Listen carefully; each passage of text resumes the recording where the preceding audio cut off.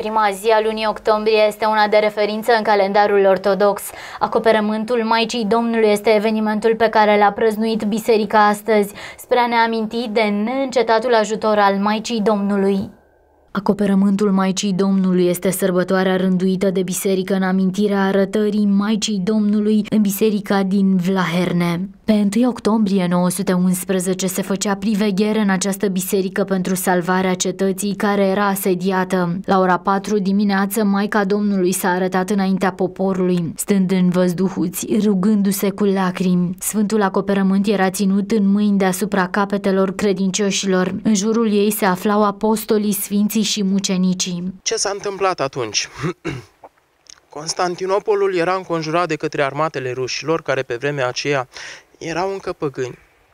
Iar locuitorii cetății s-au adunat în această biserică, unde se aflau mai multe odoare sfinte ale Maicii Domnului, icoane făcătoare de minuni și brâul Maicii Domnului.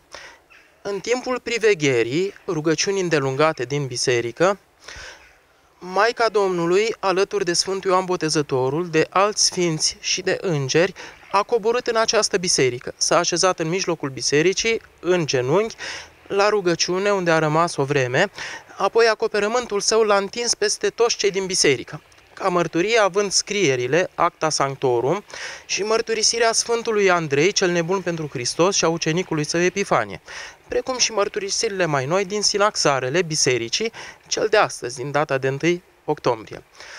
În urma acestei minuni, cetatea a fost salvată și locuitorii salvați de vărsare de sânge. Sărbătoarea de astăzi, acoperământul Maicii Domnului, este o sărbătoare a credinței noastre, a nădejdii fiecărui, credin, fiecărui credincios în uh, mișlu, mișlocirea și puterea rugăciunii Maicii Domnului către Dumnezeu pentru noi.